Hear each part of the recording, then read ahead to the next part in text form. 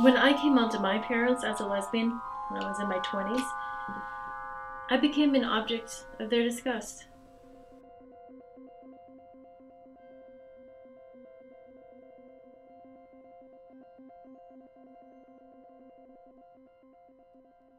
Researchers have identified three uh, domains of disgust moral, sexual, and pathogenic.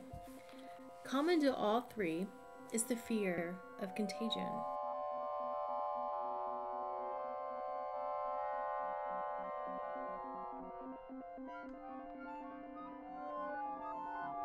I didn't feel disgust, moral, sexual, or pathogenic at the thought of sleeping with a married man, although I know a lot of people who do.